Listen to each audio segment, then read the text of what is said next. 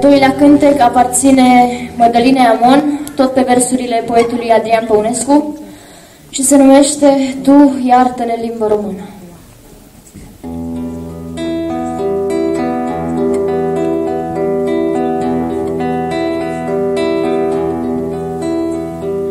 toată trădarea